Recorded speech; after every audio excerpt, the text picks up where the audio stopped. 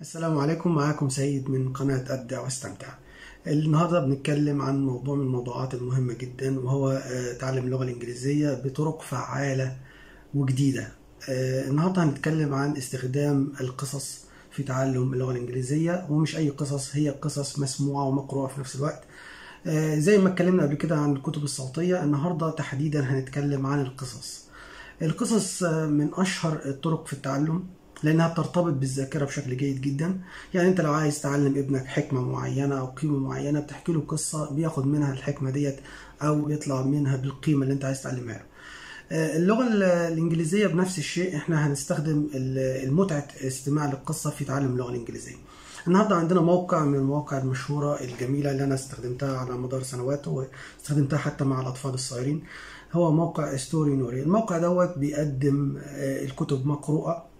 القصص تحديدا بتكون مقروءة وفي نفس الوقت نص القصة بيكون موجود قدامك فبتقدر تربط اللي انت بتسمعه مع اللي بتقرأه فبالتالي بتطلع بوجبة متكاملة من اللغة الإنجليزية. خليكم معايا وهنتابع بالظبط إزاي هنقدر نمشي جوه ال website وإزاي نطلع أكبر استفادة منه. خليكم معايا. رجعنا لكم تاني. معانا دلوقتي هنكتب ستوري نوري في البحث عشان نشوف موجود أهوت. ستوري ادي الموقع بيقول audio stories تمام؟ عندنا هنا اهوت أنواع القصص. عندنا ال original وال fairy tales والكلاسيك وغيرها من الأنواع. على سبيل المثال هناخد مثلا الكلاسيك يعني القصص الكلاسيكية اللي كلنا عارفينها وسمعنا عنها. قصص بتبقى زي حاجات تشارلز ديكنز و Alice in Wonderland وأوسكار وايلد وغيرهم. هنشوف مثلا على سبيل المثال Alice in Wonderland طبعا القصة مشهورة ومعروفة.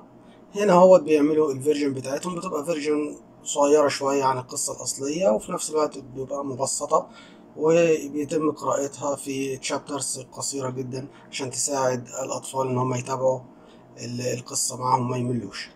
تمام أدي قدامنا اهو تشابتر 1 وتشابتر 2 بنقدر نخش على التشابتر اللي إحنا عايزينه.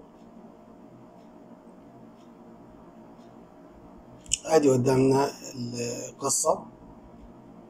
تمام؟ ده التشابتر 1 أقدر أدوس هنا أهوت. بلاي تمام؟ شغل القصة. نسمع الصوت. تمام؟ وبعدين بتابع. لو حابب إن أنت تفصلها وتعمل مثلا صفحتين صفحة الصوت فيها يشتغل. تمام؟ هنا هو كده مثلا.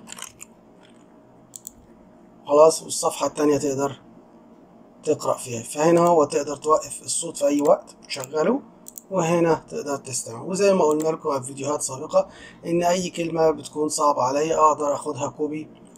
تمام. وأروح على أي قاموس أنا منزله على الجهاز أو أروح على حتى Google Translate وأقدر أترجمها. يعني على سبيل المثال آدي Google Translate. تمام. بحط الكلمة هنا اهوت paste خلاص واختار اللغة الناحية التانية وأقول له ترجم لي بيترجم الكلمة ويطلع لي معناها. تمام؟ نرجع تاني نكمل الاستماع والقراءة. أتمنى أن تكونوا استمتعتم بشرح النهاردة وإن شاء الله تستفيدوا جدا من هذا الموقع. والسلام عليكم ورحمة الله.